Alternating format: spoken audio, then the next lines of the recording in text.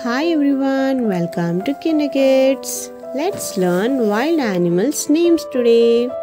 Wild animals live in forest. Lion, L I O N, lion. It is the king of the forest. If you are new, please subscribe to Kinderkids. Tiger, T I G E R, tiger. It is the bravest animal and everyone likes it and wants to be like a tiger. Cheetah. C H E T A H, cheetah. The fastest running animal. Okay, kids, you're learning with me.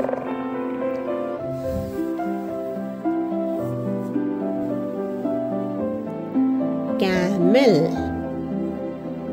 C A M E L, camel.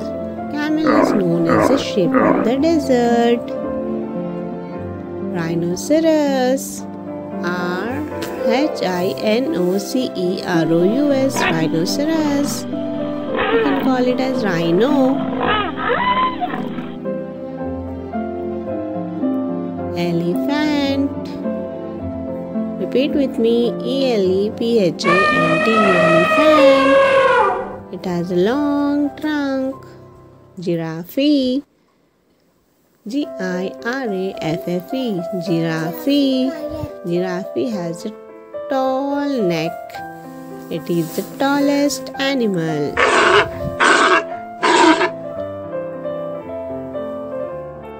Bear.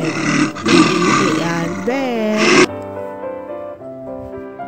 Kids you like the video. Like, share and subscribe to Kinderkids. Let's meet in the next video. Thank you. Bye bye.